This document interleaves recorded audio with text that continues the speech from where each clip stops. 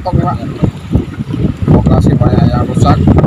Banyak yang cabut panjang-panjang ada patah ah, pokoknya lumayan banyak lah kendalanya. Gagal panen gagal panen lah kurang Untuk kisaran rugian sendiri mencapai berapa nih? Perkembangan rumput laut seperti apa ini Pak?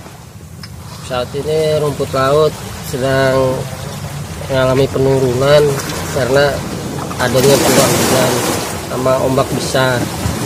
Penurunan sekarang berapa persen ini Pak dari yang biasanya? Sekitar 50 persen Pak, karena tahun untuk bulan ini gagal panen yang lain. Sama aja hanya panen tali gitu semuanya. Nah, sekarang kan tali pada gantung. Karena sekarang gagal panen Gagal kita panen ya, untuk ini sementara pembibitan dulu. Pembibitan karena gagal panen ini ada kerugian lah ya. Hujan rugi besar Pak. Hmm.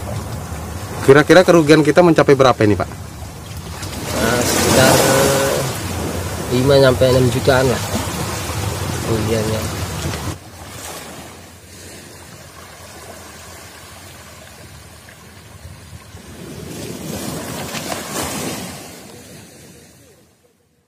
Jelajahi cara baru mendapatkan informasi. Download Metro TV Extend sekarang.